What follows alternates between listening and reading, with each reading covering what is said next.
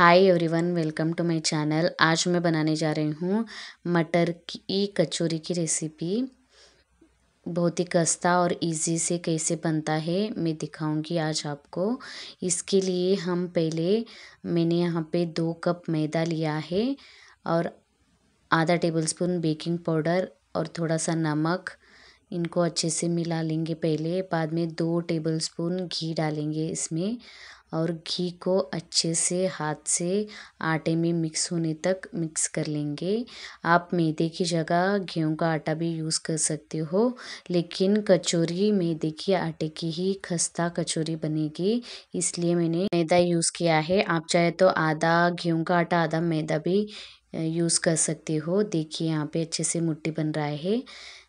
इसमें हम लोग अभी गुनगुना पानी डालकर आटे को गूंद लेंगे। ठंडा पानी से मत आटा बनाइए। इसमें घी है, इसलिए जम जाएगा।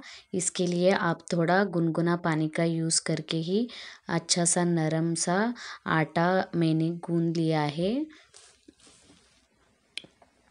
देखिए, अच्छे से स्मूथ आटा गूंदना चाहिए इसके लिए। अभी हम लोग इस आटे को थोड़ी देर रेस्ट करने के लिए रख देंगे दस पंद्रह मिनट के लिए। अभी हम लोग अंदर की स्टफिंग की तैयारी करेंगे।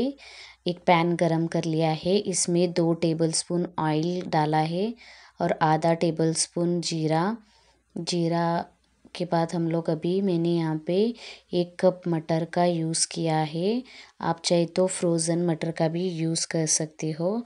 अच्छे से हम लोग मटर को गलने तक मिक्स कर लेंगे। इसमें अभी दो हरी मिर्च कट करके डाला है और थोड़ा सा अदरक मैंने कट करके डाला है। अभी थोड़ी देर के लिए मैंने ढक के रख दिया था। इसमें अभी सूखे मसाले यूज़ करेंगे। चाट मसाला, आमचूर पाउडर, धनिया पाउडर, सौंप और लाल मिर्च पाउडर और गरम मसाला, नमक। आप सौंप की जगह सौंप की पाउडर का भी यूज़ कर सकते हो। अभी मैंने ढक के रख दिया था थोड़ी देर के लिए। अभी इसमें हम लोग सूखे मसालों को डालकर थोड़ी देर के लिए मिक्स कर लेंगे। पाँच दस मिनट के लिए देखिए मैंने सूखे मसाला डाल लिया है। अभी हम लोग अच्छे से मिक्स कर लेंगे। पाँच दस मिनट के बाद हम लोग इसका फ्लेम बंद करके थोड़ी देर ठंडा करने के लिए छोड़ देंगे। इसमें थोड़ा सा हरा धनिया भी कट किया हुआ डाला है। मिक्स कर लेंगे और इसको अभी ठंडा करने के लिए छोड़ देंगे। अभी हमारा मटर ठंडा हो गया है। इसको हम लोग अभी ग्राइंड कर लेंगे। अभी मैं इसको ग्राइंड कर लिया है। देखिए, थोड़ा दरदरा रहना चाहिए। थोड़ा ज़्यादा भी पेस्ट मत बना लीजिए। देखिए, मैंने अभी दूसरे बर्तन में निकाल लिया है। इसका थोड़ा थोड़ा हिस्सा लेकर हम लोग ऐसे थोड़ा थोड़ा हिस्से का स्टफिंग बना लेंगे।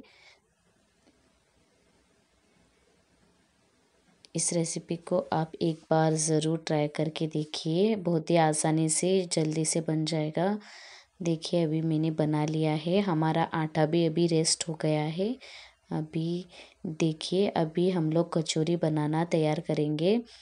अभी इससे थोड़ा थोड़ा हिस्सा लेकर हम लोग कचौरी बनाएँगे।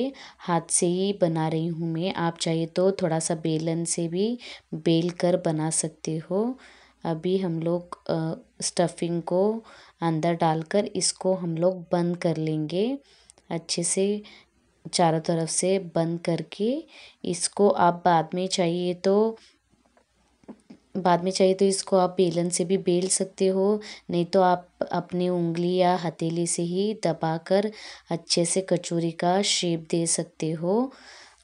बेलन से बेलोगे तो आपका कचौरी फटने की भी चांसेस रहती है। इसलिए आप हाथ से ही दबा लीजिए, बहुत ही अच्छे से आसानी से कचौरी बन जाएगा। देखिए मेरा कचौरी बन गया है, इसी तरह से मैं बना लूँगी। मैंने यहाँ पे तेल भी गरम करने के लिए रख दिया था। यहाँ पे तेल ज़्यादा गरम नहीं होना चाहिए। थोड़ा सा ही गरम तेल में हम लोग इनको फ्राई करेंगे। देखिए, हमारा तेल में डाल दिया है। हमारा तेल ज़्यादा गरम नहीं है। नहीं तो गरम रहेगा तो हम लोग डाल देंगे तब थोड़ा सा ब्राउन कलर में आ जाएगा। इसलिए आप लोग कम तेल में ही मीडियम फ्लेम पे अच्छे से फ्राई कर लीजिए। इनको दो तीन बार पलट के मैंने फ्राई कर लिया है। इनको गोल्डन ब्राउन कलर आने तक अच्छे से फ्राई कर लेंगे। अभी हमारे कचौरी बन गए हैं, अच्छे से कलर भी आ गए हैं, देखिए। अभी हम इनको निकाल लेंगे।